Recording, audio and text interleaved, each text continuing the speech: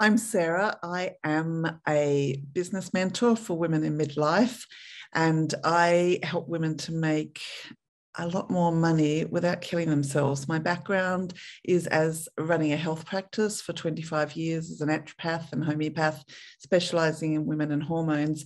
And I have a, real um, radar for helping women to simplify their business.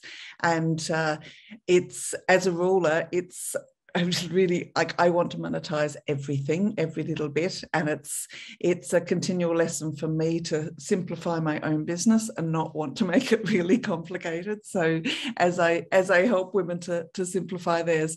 And uh, um, so I am a ruler number one. Uh, very close second is Maverick and Celebrity and Romantic.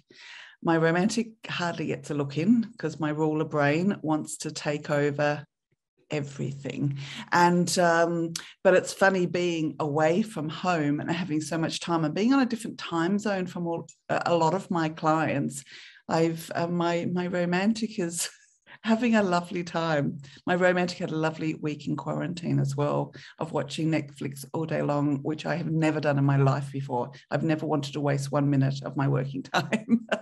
and it's really, it's really amazing to uh, to see how my different archetypes have come out when I'm in a different situation. So that's me. Um, so the first question that I have for you, and Sandra, we're going to start with you on this one and go around, is when you took the SMA quiz, were you surprised by your results or did you think, yep, that's just me, that's just me? I was really surprised when I first did the the quiz.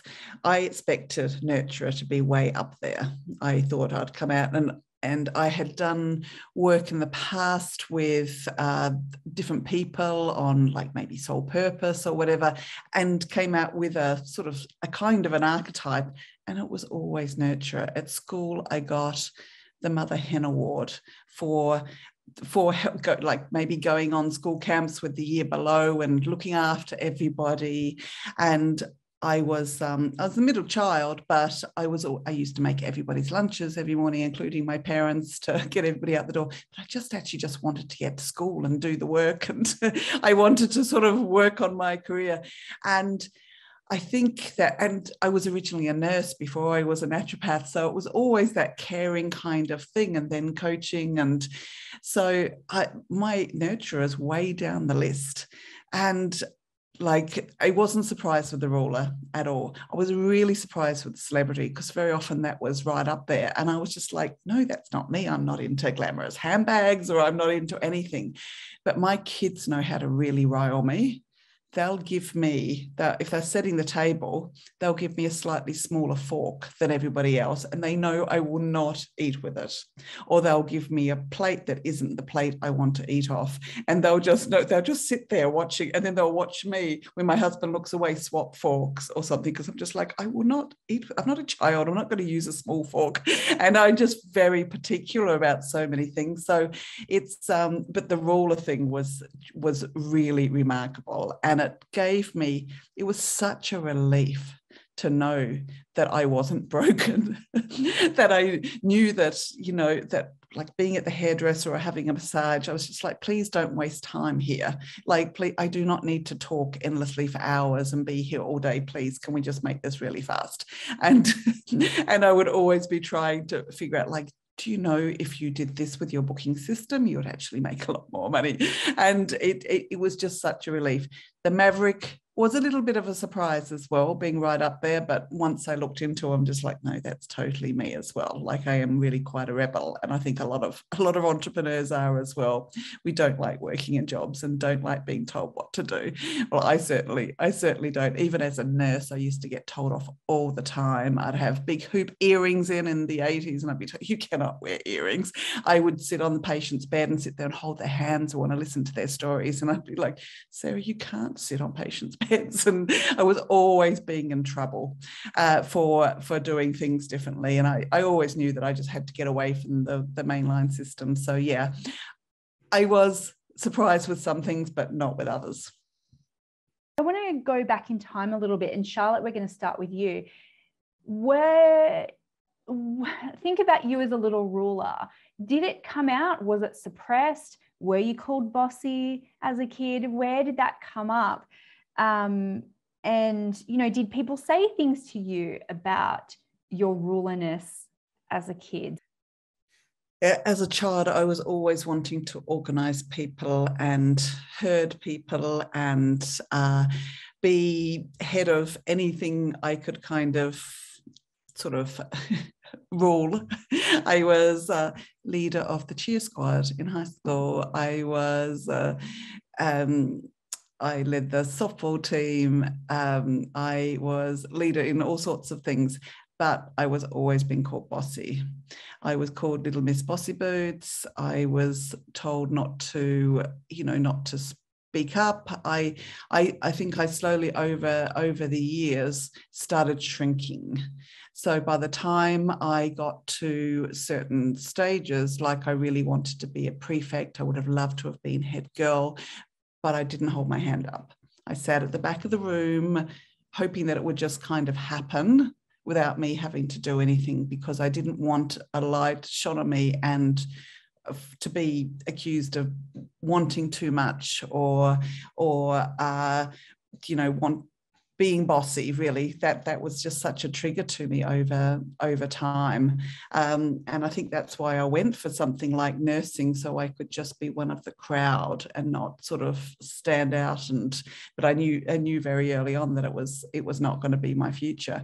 Um, but yeah it was it was continually wanting to to fix it. In that in our home i was always wanting to sort of organize things in different ways and get uh, get things get things working in a better way. And even amongst my friends was always organizing the organizing the school ball organizing when i was a student nurse i organized our, our graduation ball. I was always sort of trying to do things uh, really effectively and efficiently uh, but I was always trying not to not to come across as being bossy, um, and not to uh, and you know not to shine too bright, to to, to keep small and quiet in the corner, um, because I was like basically shamed for it whenever I tried to sort of rise rise above too much, and uh,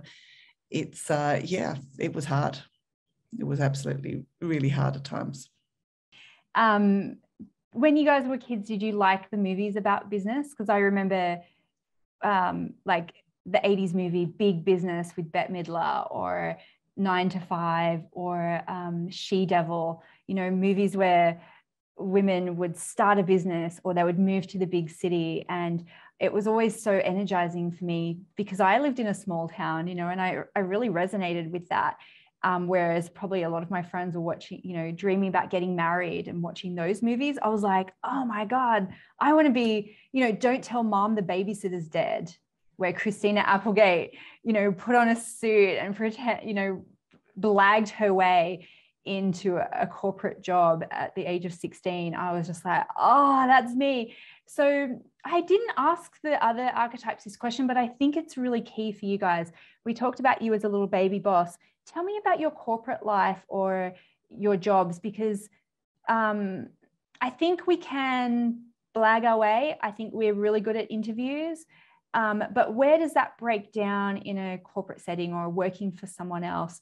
Where, you know, were you told, you know, you're too big for your boots here? I was told you just don't like following rules. And, uh, you know, I found, I found all the, you know, stuff around let's all sign this card for Janet's birthday. I was like, oh, it can be bad. Um, and so there was just felt like a lot of busy work and I just did not succeed in in corporate life at all. It did not, it did not suit me.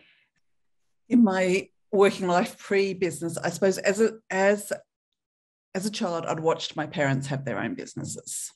So I'd always been in within with, within their business and, and seeing that firsthand. They were my parents were both hairdressers. They both trained in London, and they both and they had big, huge hairdressing salons in the 60s with Chand- I always remember the chandeliers. That's probably my celebrity loving loving the chandeliers that have 30 staff that have uh, I used to love the apprentices that uh, that have like boyfriend magazines and Cleos and Cosmos and stuff and I used to but I used to love watching them take money and I was fascinated by that I was fascinated by you know tipping and uh, and then for four years uh, when we lived in Adelaide actually they had a, a coffee shop a little restaurant and they uh, and I was fascinated sometimes would be collecting collecting uh, the you know cups and sauce and stuff and sometimes there'd be like 50 cents under a sauce or, or, something and i was just like oh my god money is so magical it can just appear anywhere.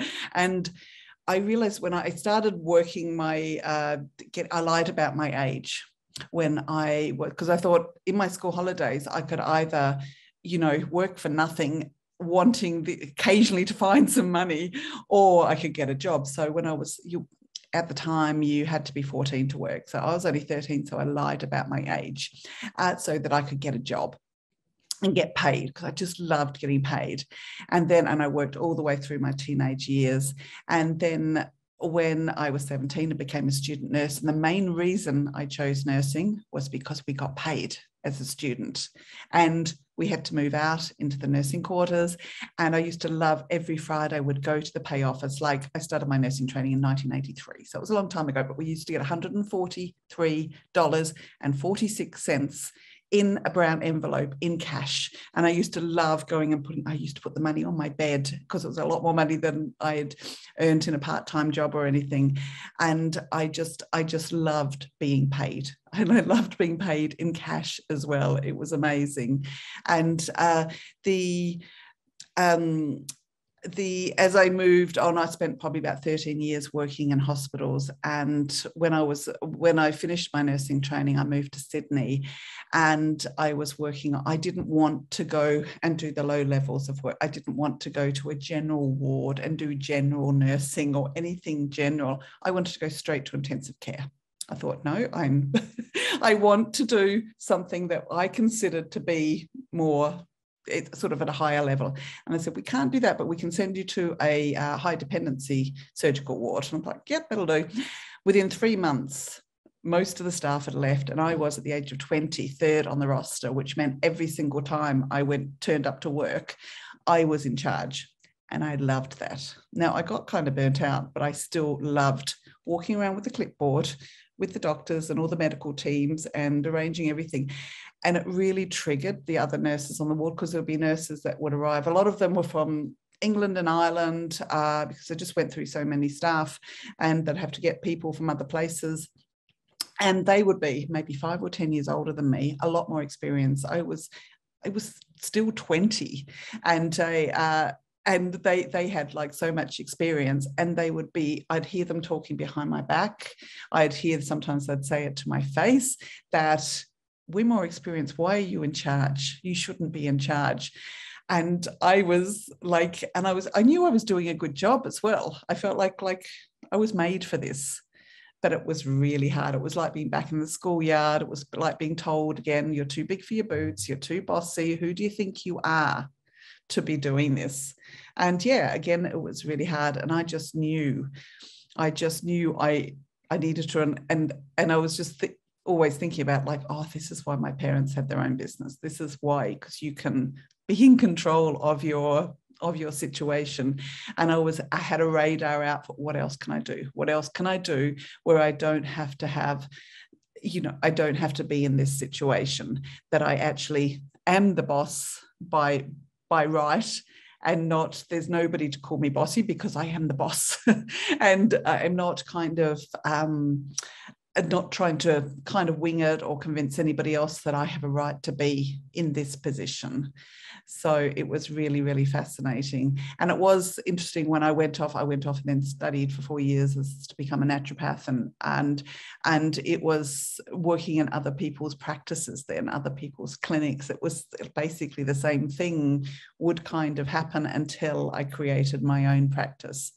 But very early on, even as a graduate naturopath, I was invited back to the back to the college to to be a lecturer and to run this, organize the, the student clinic. And again, I stepped into that role of, of, of being a leader and I loved it. I, I loved, I, I loved all of that. So it was amazing to see the same things would kind of play out no matter what, what situation I was in. And I just always felt like once I had my own business, I was like, oh, yes, yes, this is this is this is what I want. This is what I need. And now that my business has grown so much and I have a team, it's it's really interesting to see see the archetypes play out within that as well.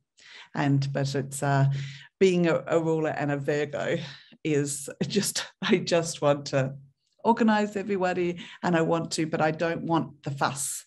I don't want any fuss. It used to drive me mad in hospitals. Yeah, oh, somebody's birthday or something, and they're all putting in money for flowers or or any of that. And I'm just like, no. And even when when patients would leave, like uh, that had maybe been in intensive care for a long time or something, and they'd leave and then they'd buy us chocolates and buy us flowers or something I'm Just like we don't want like I just never really valued any of that sort of fussiness. I'm just like, can, all I want, like, can you just say a heartfelt thank you and move on? Can we just move Let's on? Let's move on. Let's just get on. Can we just move swiftly along? Yeah. Yeah. Yeah. Exactly. Thanks, Sarah. Um. So, I want to talk. Um. I want to hear about sabotages, and I've just got this question here for you. And I think we're starting with Jess for this one. Is how is your ruler stuff showing up and sabotaging in your business? Because we know that this is a good thing. We know it's great but if you're not aware of it, or if you let some of those things sabotage, or I think the question is, are we actually fine? And it's our other archetypes that are sabotaging us? That's the question. Because, um, yeah, you know, and a couple of examples, if you don't have it, and I'm sure you'll get them anyway, of like, you know, do you outgrow things too quickly? Are you committing to things too much? Are you trying to work with the wrong clients and railroading them? Um, you know, are you um, not pricing enough? Is it, you know, do you, is your business was, you can do this before SMA if you want. Did you realize your business model didn't work for your personality? So um, I would love to hear like, how is this ruler stuff showing up? Or is it your other archetypes that are actually ruining it all in the perfect business? As far as team goes, definitely used to pre SMA definitely used to sabotage myself with hiring people that were very like me. And uh, I learned really that I didn't need to clone myself. I needed complete opposite. So I, I hire team members that have very high nurturers and connectors so that they can just go do that part. However, I'm very aware that if there's too much of that going on, then clients just become codependent on their coach. And I I need to come in and I'm known, I suppose it's a real ruler thing. I am called the queen of the loving shove because I'll just swoop in and go like, no, stop. Stop telling someone they're doing a great job when this needs to change, uh, because you're just repeating the same pattern. So it's it's I can it's it's having that balance between the archetypes. I think in business is is has been really really important for me um, the the thing around business models was even though that's what I do with my clients. When I did SMA for the first time and I was in the first round of it, it was, it blew my mind because I realized how long I did one on one for oh, like for pretty much 30 years in my business. And I had been in that, even though I had gone to group programs, realized that like I just had to stop all the one on one. And I started teaching women to go straight to one to many. And, uh, and because and and this is when you're ready for it and particularly rulers rulers are really ready for that so much faster i think than than many other archetypes so the the business model part really really blew my mind the um the constantly being sab- tab- sabotaged by my ruler, but it's it's it's getting better all the time. One part it used to really play out in my business was never wanting to stop working, even on going on holidays with my husband. We it actually caused so much grief because he is he he would never do something like the money archetypes quiz. He would just never do that. I think he's he's probably 50% maverick, 50% romantic, and that's it. I don't think he's got anything else there. probably got a good bit of nurture there. He's he's really great like that. But uh, he cannot understand anybody wanting to ever work outside of their work hours. He just doesn't get it. And we actually went, it was a holiday, we went, we went for a long weekend to Portugal. And we got, we we couldn't check in early. We had a really early flight. We couldn't check in, uh, so we had to go down to. We went down to the beach to uh, just to relax for a couple of hours before we could check in. And we put out our towels. He threw out his novel, and I threw a book down on the towel. And he just looked at me. He goes, you've bought a workbook again. And I said, it's not a workbook. He said, that's a workbook. I said, it's not a workbook. I said, this is just really great for my mind. It helps me relax and everything. It was Brene Brown daring to lead. That was my idea of a novel at the time. And it was just, I lied down and I started reading it. And I'm like, this is actually work yeah and I, I, and i got it then. And i went back to the hotel and i noticed that i hadn't noticed earlier that like big pile of novels. And i got and that's my thing now is just i go and get trash really trashy novels when i go on holiday. So those kind of things play out all the time and even at home even like not having any boundaries between work and because i just want to be working. And it was just i and i often say it like because my kids are all in their 20s now that i was really lucky when my first couple of kids were, were young, but there was no internet. Otherwise, I probably would have worked 24 hours a day. And I think it's really hard on mums now to, to have that, to have that definition. So definitely that's been my biggest thing and the big probably the biggest thing that that the money archetypes has helped me with is really seeing where that the ruler is trying to rule my whole entire world rather than maybe just my business. Uh, and I let her, I let the ruler part of me just play as much as she wants to in business. And the other part that can really sabotage is all the ideas and wanting to monetize every single little thing. And one thing that's that's really happened over the years is wanting to change programs, wanting different. I changed my podcast name four times.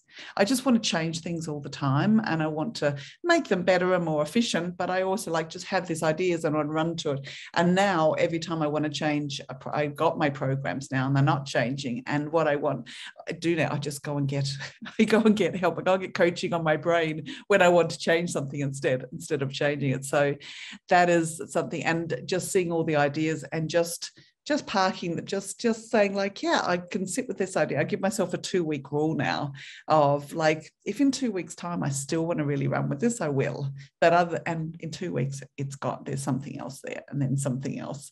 So just knowing that this is really normal uh, with uh, for other for for rulers uh, and that it doesn't have to sabotage us. It can we can play with it without it without it sabotaging us. Here's the problem with this with this call already is I'm like, I think I need to start a new Instagram account just for the archetypes.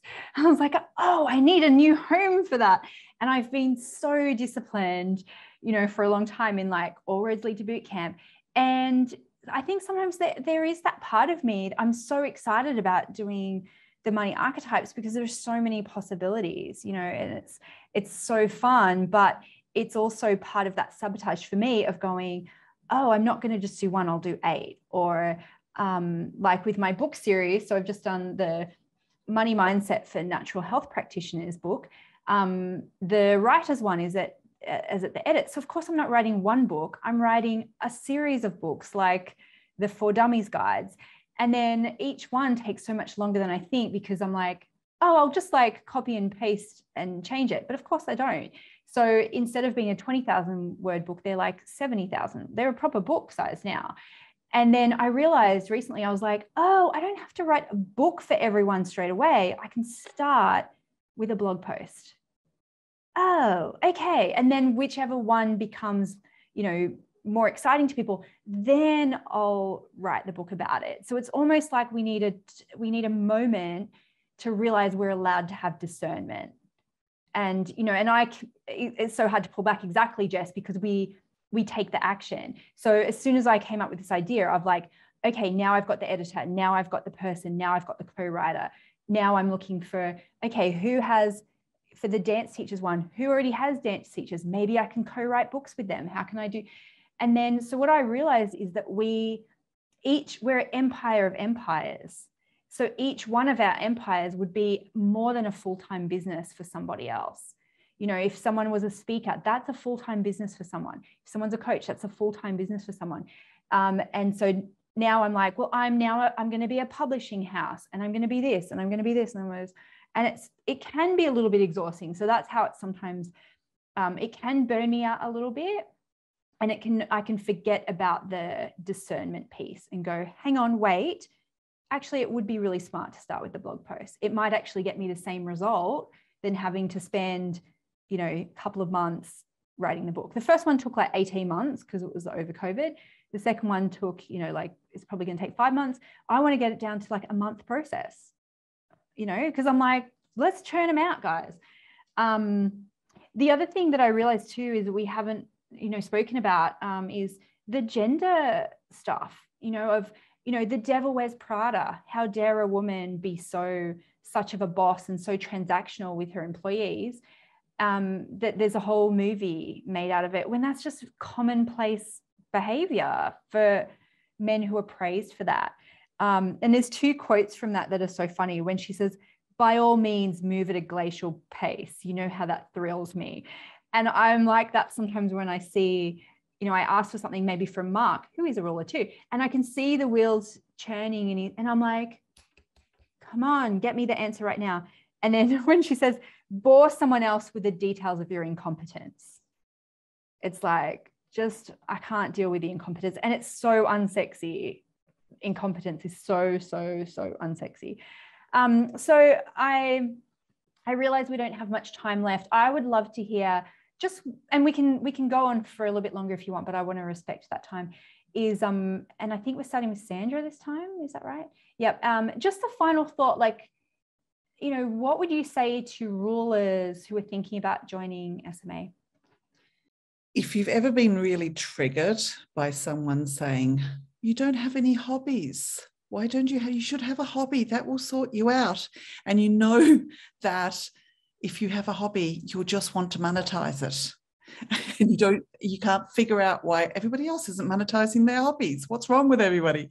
SMA is your home. It was just like such a breakthrough for me to realize that uh, that my brain is not broken because I don't want any hobbies. Yeah, I do things I enjoy, but like I love my business. I really, really love my business, and it, I think for me, SMA is just just a giant permission slip to be who I am in my business and in in wherever I am. It's such an eye opener. It, it really is such a breakthrough. Um, also, the the all the materials, all the support materials about marketing and selling to different archetypes is amazing because I was I was attracting pretty much 100% alchemists in my in my business, which is which is great. Absolutely loved it, um, but realizing why I I wasn't attracting other types of of people, which is and I love having a real mixture of different archetypes in my business. Um, the other thing was as I as I've grown my team over the last couple of years, it has been such a breakthrough understanding the archetypes of my of my team members and what I need in my team members. I mean, a lot of people say like make team members make sure they go off and do, you know, Myers Briggs or or or you know disc profiling something like no get their money archetypes. That is what is for me is uh, is has been the main needle mover in growing my an effective team in my business and knowing who I want to work alongside. So they are the main things. But I'm just like, if you're, you know, if if you want to feel really at home somewhere and really understand the way that your your mind works in your business, SMA is just complete gold. So, are you a ruler, a connector, or a maverick? Hang on, maybe you're more of a romantic or a celebrity.